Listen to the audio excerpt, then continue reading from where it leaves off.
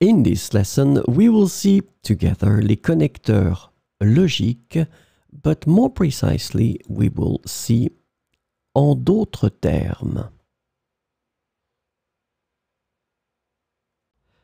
So the first thing that we need to see is, of course, what are les connecteurs logiques.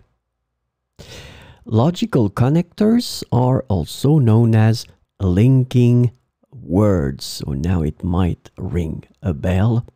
And they are essential for expressing relationships between ideas and creating coherent and well structured sentences.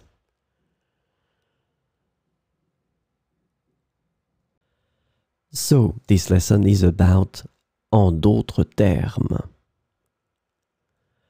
And the connector en d'autres termes can be translated into various ways in English, including, in other words, to put it another way, in different terms, and to say it differently. So we will see some examples with en d'autres termes. Il a du mal à se concentrer il est souvent distrait. En d'autres termes, il manque d'attention. Il a du mal à se concentrer. Il est souvent distrait. En d'autres termes, il manque d'attention.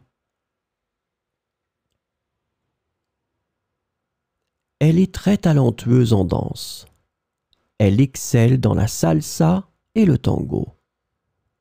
En d'autres termes, c'est une danseuse exceptionnelle. Elle est très talentueuse en danse. Elle excelle dans la salsa et le tango. En d'autres termes, c'est une danseuse exceptionnelle.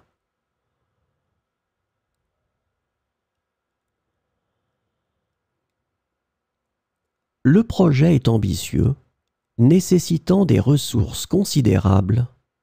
En d'autres termes, il demande beaucoup d'investissement. Le projet est ambitieux, nécessitant des ressources considérables. En d'autres termes, il demande beaucoup d'investissement.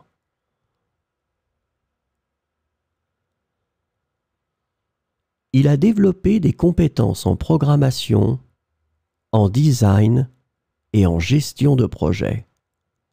En d'autres termes, c'est un développeur polyvalent. Il a développé des compétences en programmation, en design et en gestion de projet. En d'autres termes, c'est un développeur polyvalent.